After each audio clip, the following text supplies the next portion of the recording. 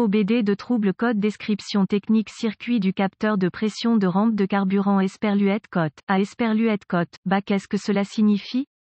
Ce code générique de diagnostic de groupe motopropulseur, moteur s'applique généralement à la plupart des moteurs à injection de carburant, à essence et diesel depuis 2000. Le code s'applique à tous les fabricants tels que Volvo, Ford, GMC, VW, etc. Ce code est strictement préoccupé par le signal entrant du capteur de pression de la rampe d'alimentation tombant en dessous d'une limite étalonnée pendant une durée étalonnée. Cela peut être un défaut de circuit mécanique ou électrique, selon le fabricant du véhicule, le type de carburant et le système de carburant, les étapes de dépannage peuvent varier selon le fabricant, le type de système de pression de rampe d'alimentation, le type de capteur de pression de rampe d'alimentation et la couleur des fils. Symptômes. Les symptômes d'un code moteur P0192 peuvent inclure témoin de dysfonctionnement, 1000, allumé manque de puissance manivelle du moteur mais ne démarre pas cause. Les causes potentielles de ce code à régler sont les suivantes, signal FRP court-circuit à SIGRTN ou PWRGND capteur FRP endommagé diagnostic et procédure de réparation un bon point de départ est toujours de vérifier les bulletins de service technique BST pour votre véhicule particulier. Votre problème peut être un problème connu avec un correctif connu publié par le fabricant et peut vous faire économiser du temps et de l'argent lors du diagnostic. Ensuite, localisez le capteur de pression du rail de carburant sur votre véhicule particulier. Il peut ressembler à celui-ci. Une fois localisé, inspectez visuellement les connecteurs et le câblage. Recherchez les frottements, les frottements, les fils dénudés, les brûlures ou le plastique fondu séparez les connecteurs et inspectez soigneusement les bornes, les parties métalliques, à l'intérieur des connecteurs, voyez si l'on l'air corrodé, brûlé ou peut-être de couleur verte par rapport à la couleur métallique normale que vous avez probablement l'habitude de voir, vous pouvez obtenir un nettoyant pour contacts électriques dans n'importe quel magasin de pièces si un nettoyage des bornes est nécessaire, si ce n'est pas possible, trouvez de l'alcool à friction à 91% et une brosse à poils léger en plastique pour les nettoyer, ensuite, laissez-les sécher à l'air, récupérez un composé de silicone diélectrique, même chose qu'ils utilisent pour les douilles d'ampoule et les fils de bougies, et mettez-en un là où les bornes entrent en contact. Ensuite, assurez-vous que le tuyau d'aspiration qui relie le capteur au collecteur d'admission ne fuit pas, s'il est utilisé. Inspectez visuellement toutes les connexions du tuyau de vide au niveau du capteur FRP et du collecteur d'admission. Notez si du carburant sort du tuyau d'aspiration. Si c'est le cas, le capteur de pression de la rampe d'alimentation est défectueux. Remplacez au besoin. Si vous disposez d'un outil d'analyse, supprimez les codes de diagnostic de la mémoire et voyez si ce code revient. Si ce n'est pas le cas, les connexions étaient probablement votre problème. Si le code revient, nous devrons tester le capteur et ses circuits associés. En règle générale, il y a trois fils au capteur FRP. Débranchez le faisceau allant au capteur FRP. Pour ce code, la chose la plus simple à faire est de prendre un fil de connexion fusible. C'est un fil de connexion avec un fusible en ligne. Il protège le circuit que vous testez et de connecter le fil d'alimentation 5V au fil d'entrée du signal FRP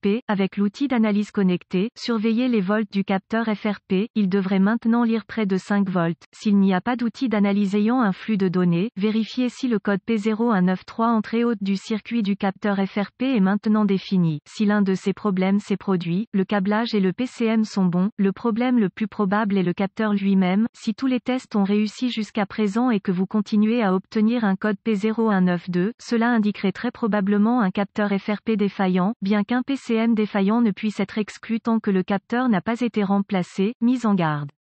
Sur les moteurs diesel avec système de carburant à rampe commune, si un capteur de pression de rampe de carburant est suspecté, vous pouvez demander à un technicien professionnel d'installer le capteur pour vous. Ce capteur peut être installé seul ou faire partie de la rampe d'alimentation. Dans les deux cas, la pression de la rampe d'alimentation de ces moteurs diesel au ralenti chaud tourne généralement pas moins de 2000 psi et sous charge peut bien dépasser 35 000 psi.